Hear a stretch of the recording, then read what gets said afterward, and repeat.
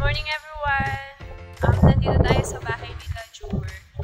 Dito kami nag-overnight tapos alis na rin kami papuntang site kasi mamaya-maya darating na yung crew ng Manang Lawin. So, yan, makikita natin sila nagpe-prepare. Tara! Yan. Tanungin natin kung ready na yung mga ka-groupmates ko. Woo! Ready na kayo? Para mamaya, Wala pang energy kasi di pa kami nag-aalmusal. Ayan. May pang-almusal kaya kami mamaya. Hindi natin alam. Ayan, nandito na ako sa loob. Palis na talaga kami ngayon. Kanina kasi sinabi ko, ayan, ayan si Tom. oh. Hi ka, Tom. Hi. Crimson, siya yung driver namin since nung day one. Driver lang? Siya rin yung wiring la- all around.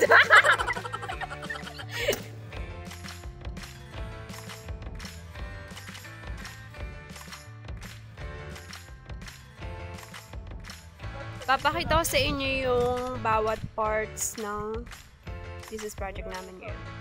Sobrang init oh. Kaya, sobrang dami ng energy ng solar panel namin, which is good thing din naman. Punta tayo sa kanila. Yan si Crimson. Siya yung ano, laging nag-uutos sa amin. Tapos, pagod na pagod nga lagi ako. Alam niyo yung mga pinturang to. oh, Ang ganda, di ba? Hindi ako nagpintura niyan. Sino ang pintura nito? Pero, yung mga tiles, tingnan nyo naman no, imperfect. Ayun nga, i-close up ko.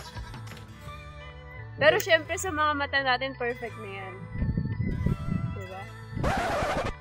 Um, ikikwento ko sa inyo kung bakit ito yung napili namin lugar Ah, nung unang visit namin dito, which is October 2017, nag-ocular visit kami dito, um, nakita namin na hindi pa maayos yung electrical system sa Isa rin sa reasons kaya namin ito napili dahil ito yung sinuggest ng mayor nila na si Honorable Mayor Ruana Con. Nagdi-discussion sila tungkol sa conceptual framework no thesis namin. Yun rin po yung ano, sensor niya yata itim na? yung puti po na may ano, doon sa Yan, nag-uusap na sila.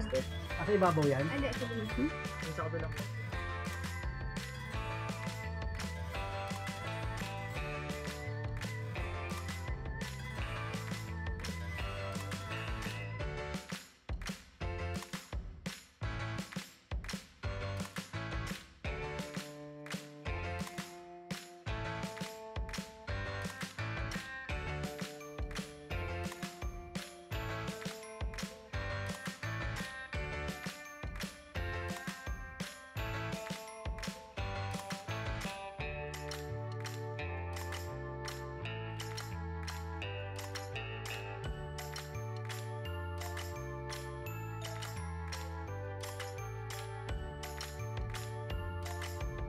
Tapos na yung vlog.